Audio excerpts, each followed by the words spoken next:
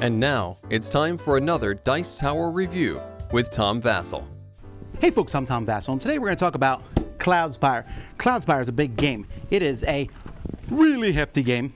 It's made from Chip Theory Games, who make some exceptionally good quality games. In fact, Cloudspire won for the best component quality from the Dice Tower in 2019 because it's really that good.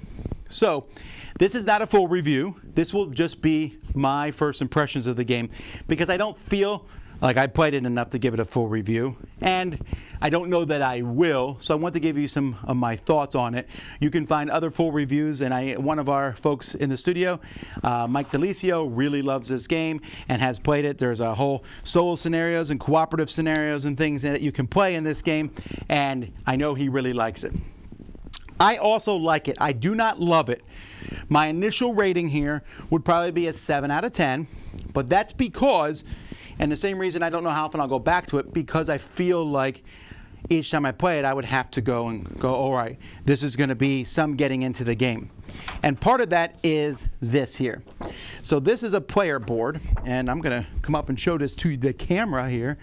So this is all the different buildings and things you can build for one of the factions. And then this is all the special abilities that that faction can have. That is a lot. Now, this is very similar to their last game, Too Many Bones. Too Many Bones had the same thing going on in it, although I feel like this is much more than that. The problem is, and the difference for the games, and the reason I like Too Many Bones more, is because in Too Many Bones, I had my character, I had all these things, I learned about them, great. In this game, especially the competitive version of this, I kind of need to know what your board says and does. And there's also another whole extra board here for um, just the, the, the random stuff that you find on the board. So this is a tower defense game. Uh, or maybe even a MOBA style game because you have your own area and you are building units each turn. And you have a ton of units. You have so many options in this game. Every time you play, it's going to be different, and people are going to like that.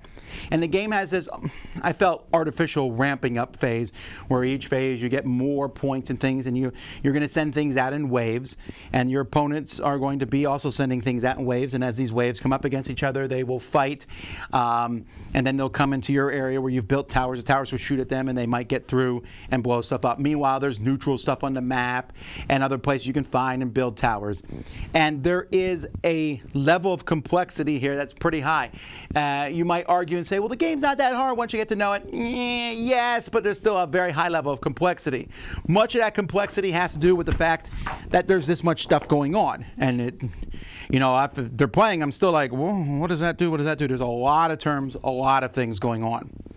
Now, that variety is amazing. The, the factions that are included in here feel really different. There's some really cool things, and each faction also then has various tracks that they can follow and do. And that's pretty neat. I'm not convinced this game works as well with multiple players. It seems like I would prefer playing it best either cooperatively or as a two player game where I'm coming to destroy your towers and you're coming to destroy mine rather than I played one three player game and we're just, you know, going after the person to our right's towers and some weird mess ups in the middle. There's also some terrain. The terrain here uses the neoprene mats and stuff, and that's all cool.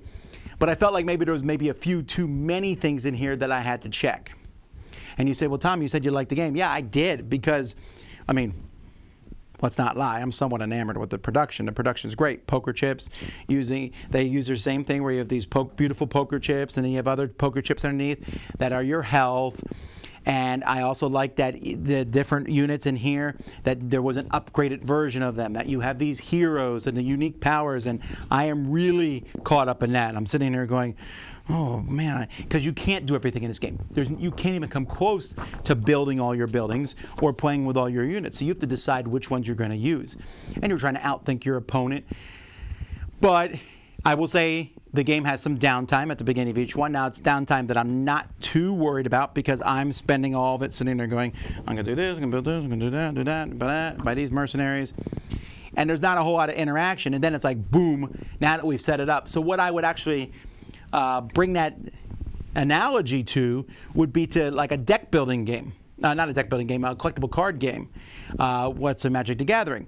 I spend a good chunk of time building my deck, and then we play each other. That's what this game feels like. I spend a bunch of time at the beginning of each of the, the turns building up my army, deciding what I'm going to do, how I'm going to place them out on the board, what the order is going to be, and then we just go boom, and we kind of watch them go.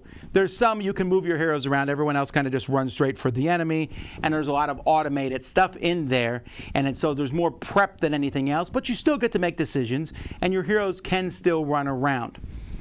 So, I don't know if this is helping anybody or not, really. Um, but like I said, this is a pretty solid game for me. But if I had my druthers, I would want to play it with someone who's played before, that knows the game, so that I don't have to keep looking up the rules, that I can just ask them instead. Because there's that much going on. This is very close to a lifestyle game. But where it does not reach the heights of Too Many Bones, I think I like that game better because I felt that I was had my one character, I was building them up, and we're working together in a tactical, and I love tactical battles anyway. Um, but I didn't have to worry about what everyone else did. We kind of worked together, obviously. It's a cooperative game. Here, I really do need to know what my opponent is, and so that constant having to stop. So when I played this, I said, you know what, don't even tell me your stuff does, just tell me when it happens. And that's all well and good, but I'm not going to win then. Like, oh, I didn't know that was a thing. I would have prepared for it. But preparing for it and doing it takes more effort in the long run. Still, it's a very impressive feat, Cloudspire. Uh, they're definitely a company to keep an eye on for sure. This is two uh, games that are extremely popular right in a row. Um, and if you want to see more, we'll more reviews. And I'm sure that Mike either has done a solitaire or will do it in the future. But that's Cloudspire, my first impressions of it. Until next time, I'm Tom Vasel. We'll see y'all later.